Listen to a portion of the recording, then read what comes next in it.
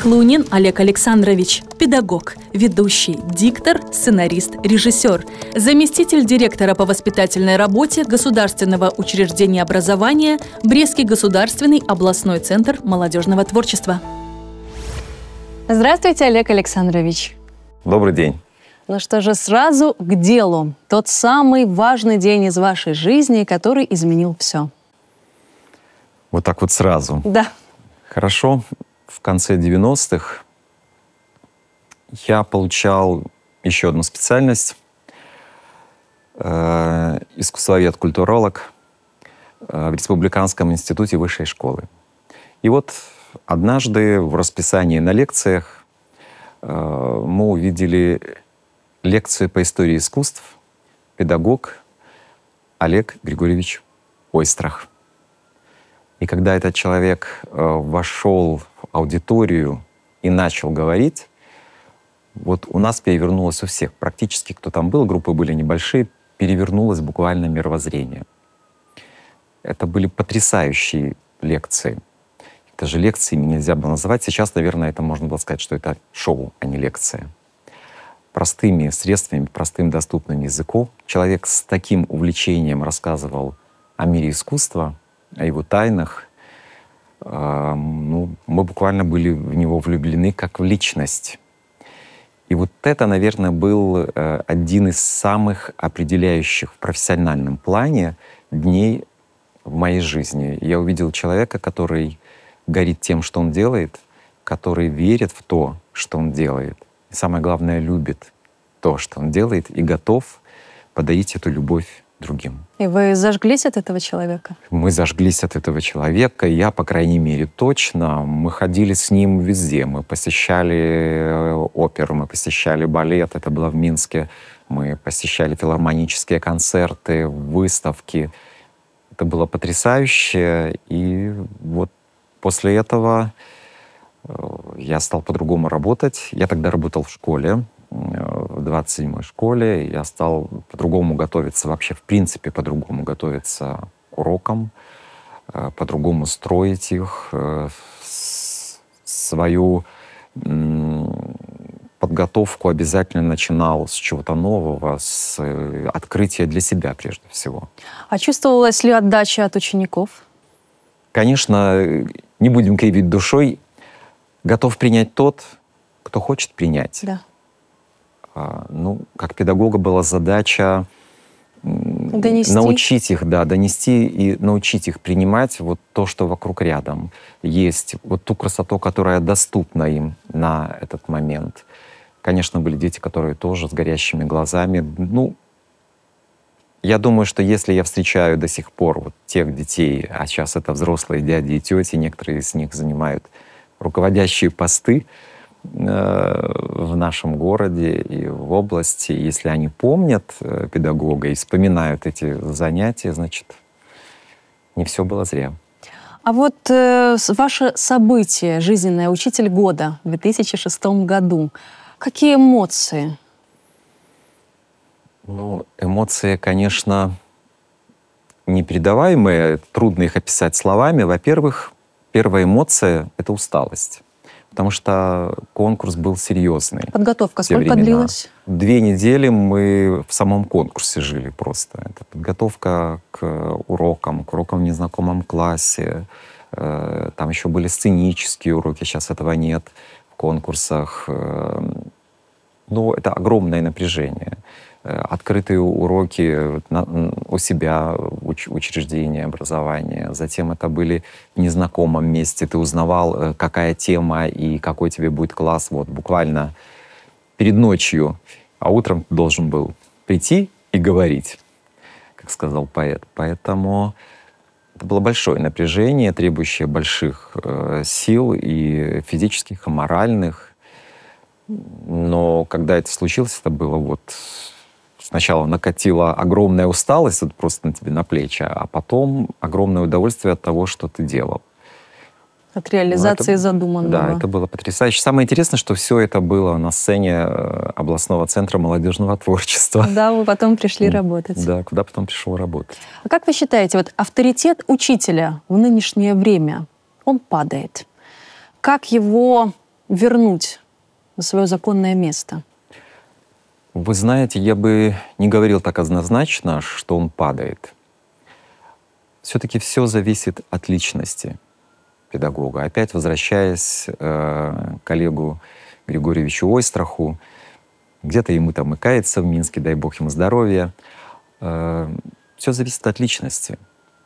Если личность этот авторитет готова нести детям, если человек, педагог, готов этот авторитет транслировать своим коллегам, родителям, то, конечно, э, будет обратная реакция.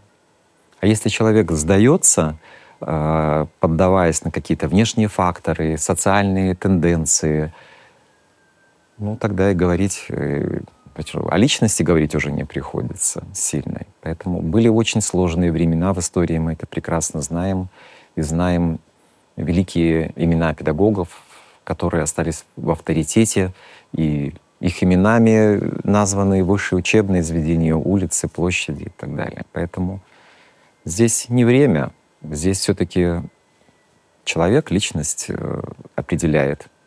В Центре молодежного творчества. А, когда вы начали свою педагогическую деятельность?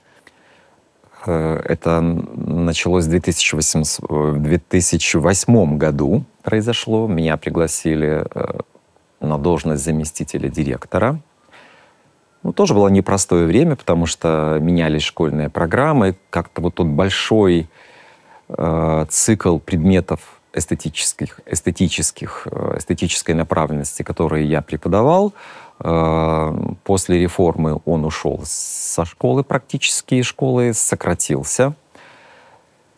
И тут, ну, так сложилось. Э, мне вот поступил звонок, пригласили прийти в Центр молодежного творчества, я с удовольствием принял это предложение.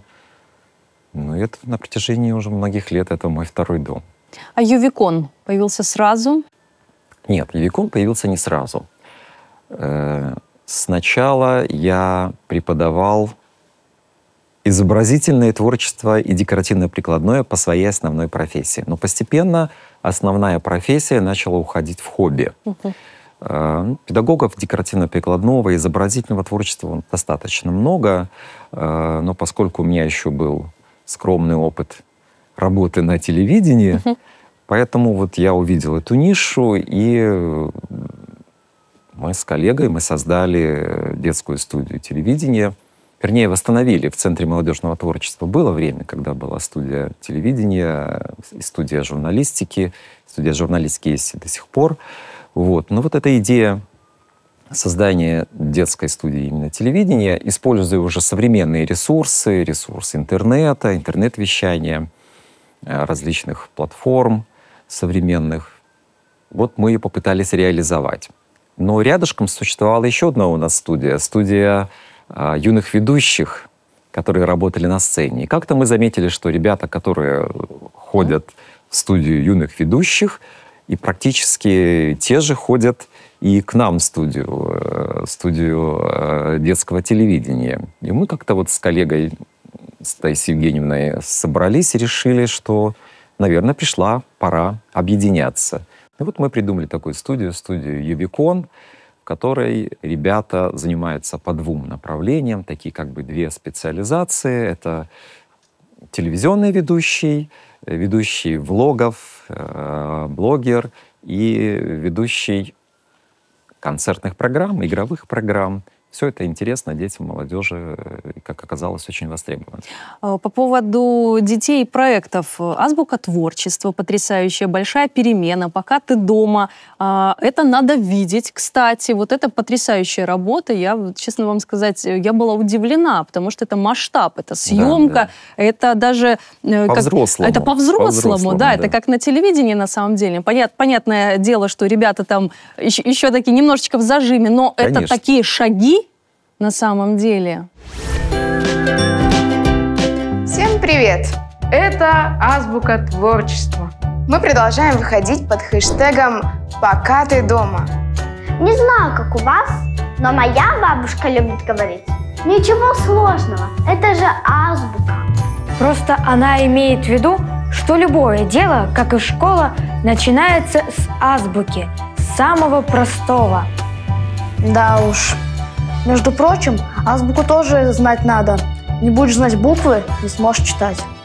Вот поэтому мы и поговорим сегодня о том, с чего начинается любое интересное занятие – о безопасности. Хочешь что-то сделать? Узнай все о правилах безопасности. Идея этих проектов исходила прежде всего от ребят. Мы всегда собираемся, мы делаем э, мозговой такой штурм, набрасываем идеи, что бы мы хотели сделать, и вот из, этой, из этого множества идей э, выкристаллизовываем то, что мы можем реализовать, то, что наиболее интересно. Так было с циклом программ «Пока ты дома». Это был период пандемии, э, массово собираться э, не было такой возможности, были определенные ограничения, много детей, да и взрослых болело, и поэтому, чтобы занять чем-то вот свою вот эту детскую аудиторию, э, включить их в процесс дополнительного образования в том числе, дать возможность обучаться на дому, изучать какие-то лайфхаки, э, направления и так далее, мы, мы передумали эту программу «Пока ты дома» и реализовывали в течение вот этих не совсем веселых лет. Э, хочется вернуться к, ко второму профилю э, Ювикона. Угу. Это ведущие. Угу. Я считаю, вы как, как уже ведущий, профессиональный ведущий, ведь на сцене вы более 25 лет. Да, есть а, такое. Да, есть такое. Скажите, пожалуйста, ваши учащиеся, они берут пример? Ну, наверняка берут. Я думаю, что да. Эм, со временем замечаешь, что учащийся во многом ведь такая мини-копия педагога. Э, смотришь на э, учащихся других объединений, на других педагогов, и, и ты уже узнаешь, да? да, выходит на сцену, думаешь, ну вот это точно этого mm. педагога ребенок, потому что е- копирует манеры, копирует стиль, э, манерность некоторую uh-huh. даже, э, речь и так далее. Поэтому, наверное, подражают. Есть чему, значит, подражать.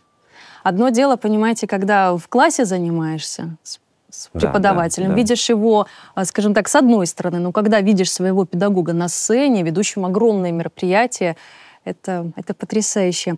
А, кстати, знаю, что был у вас случай на гастролях, где вы, не растерявшись, взяли микрофон и на иностранном языке провели концерт. Расскажите, пожалуйста, вот Была каково это, да, и вообще вот в целом гастроли для творческой личности, что это? Была и остается такая деятельность в наших коллективах, в нашем областном центре молодежного творчества, как гастрольная деятельность, она очень крайне важна. Во-первых, она коллективообразующая. На выезде дети видят своих коллег, педагогов, э, себя с совершенно другой стороны. Случаются ситуации, которые заставляют мобилизироваться, которые заставляют найти себе стержень и выполнить поставленную задачу. Ну, вы тоже в курсе, тоже бывали э, в таких ситуациях на сцене, знаете, когда возникают экстремальные ситуации, нужно спасать. И здесь проверяется коллектив.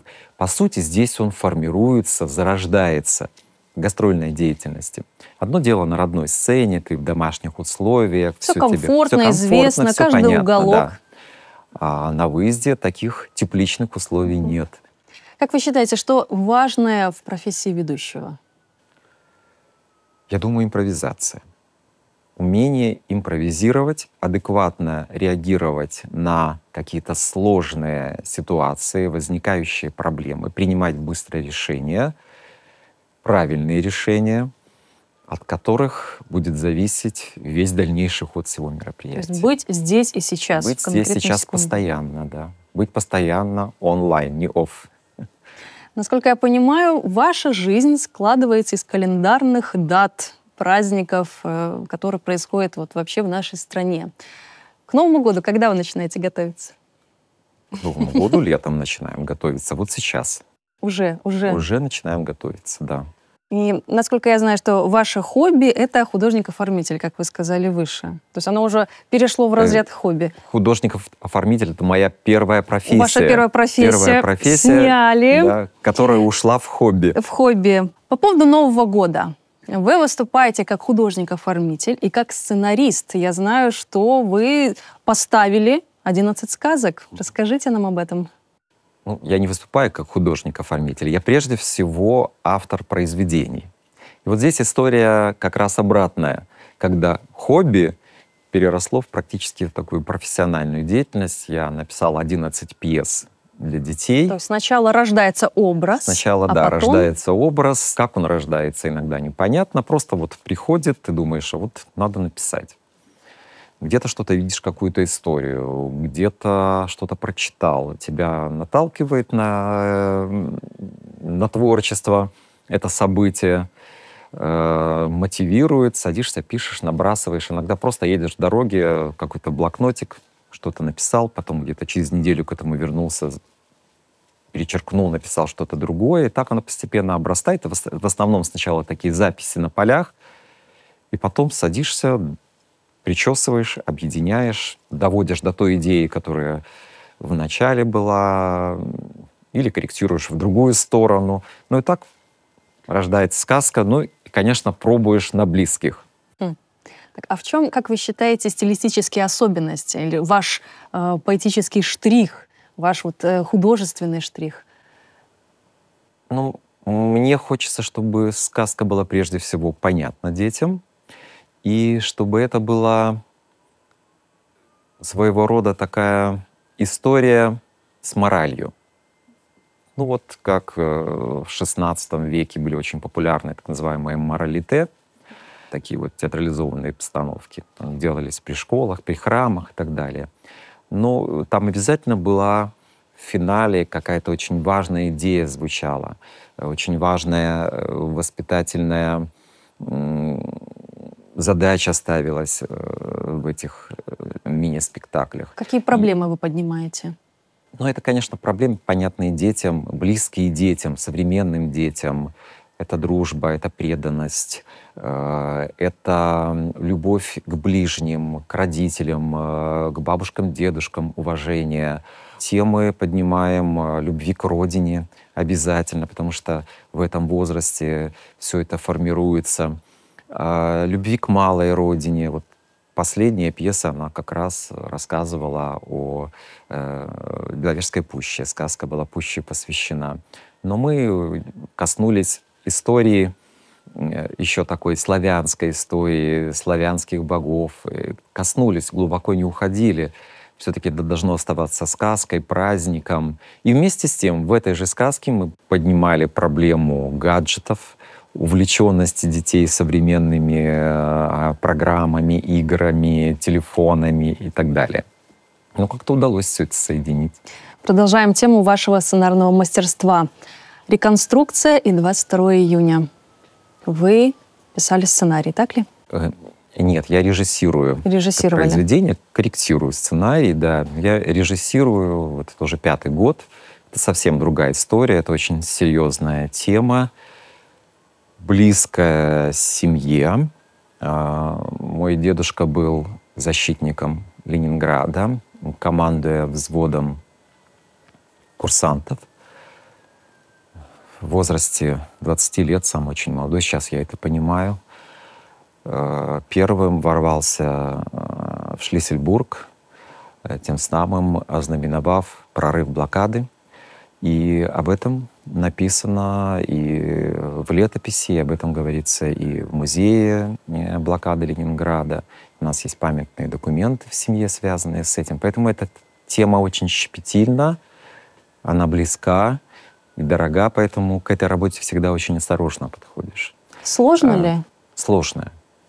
Это сложно, это каждый раз это э, переживается внутренне, э, переживается неудачи, которые видны, наверное, мне, слава богу, что только мне, но, может быть, кому-то еще, но э, так открыто пока не говорят, слава богу. Ну, понятно, иногда кажется, что можно сделать, э, ведь история это она вот такая. Здесь ничего не придумаешь, не отойдешь. Это реконструкция. И мы знаем, с чего это начиналось и как это закончилось. Но тем не менее, каждый год хочется внести какие-то краски, какие-то новые элементы, какие-то детали. Меняются люди, меняются участники, это понятно. Есть люди, которые постоянно в течение многих лет приезжают, и ты их уже узнаешь, знаешь, и у них постоянные роли, и они очень переживают, они хотят, чтобы вот именно было так, как, как было раньше, и ты уважаешь их желания. Очень сложный процесс, потому что люди, которые участвуют, это люди, это не актеры, это реконструкция. Они искренне приезжают с желанием пережить вот эти события, погрузившись в образ людей, перенесших эту трагедию. Некоторые настолько вживаются, что у них это все заканчивается таким реальным нервным срывом. Люди реально плачут, настолько входят в эти события. Ну, мы привлекаем все больше и больше людей, чтобы это было более зрелищно и понятно. Привлекаем из нашего города профессионалов, актеров театра, элемент театрализации используем. Привлекаем молодежь, школьников, э, которые участвуют в мирных сценах прежде всего. Э, кто не первый год посещает реконструкции, наверное, замечает эти сцены. И музыкальный взвод у нас э, появился юных воспитанников, вот ребята, кадеты из 35-й школы играют. И, конечно, последний вальс выпускников — Каждый год ребята, у нас ну, буквально очередь, кастинг желающих э, вот, изобразить эту трогательную сцену. И среди них очень много ребят, которые реально выпускники этого года. Ребята-студенты э, вузов э, приходят, чтобы вот тоже поучаствовать в этой сцене. Э, такие фольклорные, милые сцены появились у нас, э, когда женщина, крестьянка с детьми вот буквально за пару часов до начала войны находит своего сына, приехав откуда-то издалека, вот эту вот авосечку приносит, она как мило с ним прощается. Это очень трогательная сцена. И спасибо телевидению, что вы увидели это, показали в крупных планах. Что еще вас связывает с Брестской крепостью? Ну, с недавнего времени в аудиогидах, э, в музеях мемориального комплекса «Брестская крепость-герой» э, звучит мой голос на русском и белорусском языке. Поэтому, если вы желаете встретиться со мной в крепости, берите аудиогид, будем вместе с вами ходить по залам музеев. Творческий человек, он творческий во всем, неисчерпаемый абсолютно. И я знаю, что творчество в вашей семье тоже передалось вашим детям. Да, была у нас э, творческая история. Сын тоже такой творческий человек, но он немножко в другом направлении, он mm. научной деятельности. Но вот в юности он был очень увлечен комиксами, историями. И вот у него возникло желание э, написать собственный комикс. Что, собственно, он и сделал. Написал комикс, и как-то говорит, папа, а давай ты проиллюстрируешь, делаешь рисуночки. Ну, вот так вот, вот на полях. Я почитал, посмотрел, думаю, ну идея хорошая. Но вот так вот быстро на полях мне как-то стало жалко. Причем это творчество собственного ребенка. И захотелось показать, что ну, любое дело нужно доводить до максимума. Э, до того максимума, в котором ты почувствуешь вот удовлетворение, что да, вот я сделал все, что мог. И поэтому вот э, «Рояль в кустах» родился вот такой вот комикс, называется «Экомен. Начало», связан с экологией. Эта тема его тоже очень увлекала. Ну, наверное, такое что-то среднее между Бэтменом и э, любителем э, экологии. Такая интересная история, как бы первая часть. Ну, вот так она проиллюстрирована была. Вот. Как вы считаете, насколько важно поддерживать творческую искру своих детей и творить вместе? Это, это очень важный момент. Вот несколько лет назад, позапрошлом году, у нас появились в городе э, первые плакаты с замечательным лозунгом «Самое дорогое, что вы можете подарить своим детям, это время, проведенное с ними». И сейчас, когда уже у меня внучка, сын уже очень взрослый, ты понимаешь, где-то себя, наверное, коришь, что можно было больше времени провести. Это оказалось так быстро. Это так быстро пролетело, это детство. И сейчас, конечно, хочется больше с внучкой общаться. Ну, к сожалению, нет такой возможности. Э, поэтому Что бы вы порекомендовали нашим телезрителям? Да, дорогие друзья, цените это время. Оно быстротечно, оно мимолетно, как, наверное, как и, наверное, вся наша жизнь. Это момент, поэтому живите здесь, сейчас, получайте удовольствие от каждого дня и старайтесь, если начали делать, делайте его до конца. Благодарю вас за эту прекрасную беседу. Спасибо.